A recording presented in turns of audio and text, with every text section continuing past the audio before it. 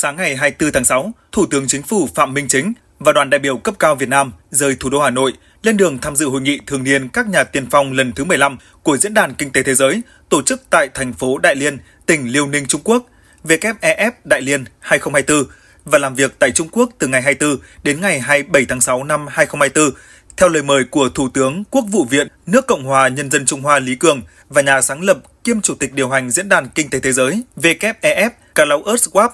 Đoàn đại biểu chính thức tham gia chuyến công tác của Thủ tướng Chính phủ Phạm Minh Chính có Bộ trưởng Bộ Ngoại giao Bùi Thanh Sơn, Bộ trưởng Bộ Công Thương Nguyễn Hồng Diên, Bộ trưởng Bộ Giao thông Vận tải Nguyễn Văn Thắng, Bộ trưởng Bộ Thông tin và Truyền thông Nguyễn Mạnh Hùng, Bộ trưởng Bộ Nông nghiệp và Phát triển Nông thôn Lê Minh Hoan,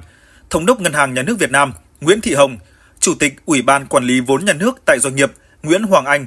Thứ trưởng Bộ Quốc phòng Thượng tá Vũ Hải Sản, Phó Tránh Văn phòng Trung ương Đảng Bùi Văn Thạch, Phó trưởng Ban Đối ngoại Trung ương Ngô Lê Văn, Thứ trưởng Bộ Công an Trung tướng Lê Văn Tuyến, Đại sứ Việt Nam tại Trung Quốc Phạm Sao Mai. Ngoài ra, lãnh đạo một số bộ ngành và địa phương cùng tham gia chuyến công tác. Đây là năm thứ hai liên tiếp Thủ tướng Phạm Minh Chính được mời tham dự hội nghị thường niên các nhà tiền phong của Diễn đàn Kinh tế Thế giới, lần thứ nhất vào năm 2023 tại Thiên Tân, Trung Quốc. Theo Đại sứ Việt Nam tại Trung Quốc Phạm Sao Mai, điều này thể hiện sự coi trọng và đánh giá cao của WEF và cộng đồng doanh nghiệp quốc tế đối với vị thế, vai trò và những đóng góp của Việt Nam trong tăng trưởng kinh tế toàn cầu và khu vực.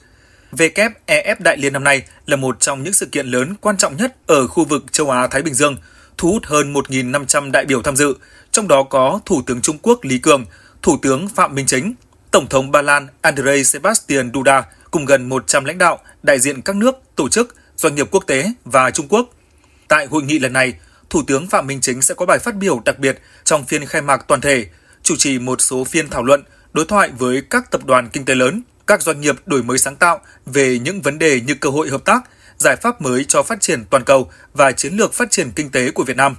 Bên cạnh đó, Thủ tướng sẽ có các hoạt động tiếp xúc song phương với lãnh đạo các nước, tổ chức quốc tế và tập đoàn lớn. Đại sứ Việt Nam tại Trung Quốc Phạm Sao Mai cho biết, trong bối cảnh kinh tế thế giới tăng trưởng chậm lại và đối mặt với nhiều rủi ro và thách thức, Thủ tướng Phạm Minh Chính sẽ chia sẻ những đánh giá, quan điểm của Việt Nam về triển vọng, thách thức, xu hướng điều chỉnh và các mô hình mới tác động đến kinh tế thế giới trong ngắn hạn và dài hạn. Người đứng đầu chính phủ Việt Nam cũng sẽ đề xuất các giải pháp ở cấp độ toàn cầu, khu vực, quốc gia và doanh nghiệp nhấn mạnh vai trò của tư nhân và hợp tác công tư trong thúc đẩy tăng trưởng, phục hồi kinh tế, tận dụng các cơ hội tiềm năng hiện có. Thông qua hội nghị quan trọng này, Thủ tướng sẽ chia sẻ kinh nghiệm và đề cao thành quả phát triển kinh tế xã hội của Việt Nam, truyền tải thông điệp về chủ trương, định hướng, mô hình phát triển của Việt Nam, để từ đó kêu gọi WEF, các chính phủ, tổ chức quốc tế và cộng đồng doanh nghiệp toàn cầu tăng cường hợp tác chiến lược, đầu tư, mở rộng kinh doanh tại Việt Nam. Về mối quan hệ song phương, đại sứ nhấn mạnh sự coi trọng cao độ của Đảng và chính phủ Việt Nam đối với quan hệ đối tác hợp tác chiến lược toàn diện Việt Nam Trung Quốc. Trong bối cảnh quan hệ hai đảng, hai nước đang phát triển sâu sắc, thực chất và toàn diện,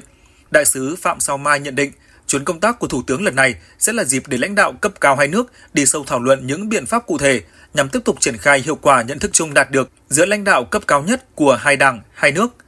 Trong chuyến công tác, Thủ tướng Chính phủ Phạm Minh Chính và đoàn công tác có các hoạt động song phương với Trung Quốc nhằm duy trì trao đổi chiến lược cấp cao, tăng cường sự tin cậy chính trị, cụ thể hóa, triển khai hiệu quả nhận thức chung cấp cao và hai bản tuyên bố chung Việt Nam Trung Quốc đạt được trong các chuyến thăm của Tổng Bí thư hai đảng tới hai nước vừa qua, thúc đẩy hợp tác thực chất có tiến triển mới, nhất là trong các lĩnh vực Việt Nam có nhu cầu như kết nối đường sắt qua biên giới, hợp tác kinh tế biên giới, thúc đẩy xuất khẩu nông sản chính ngạch của Việt Nam, thu hút đầu tư chất lượng cao, tăng cường hợp tác du lịch bền vững, đào tạo nguồn nhân lực chất lượng cao,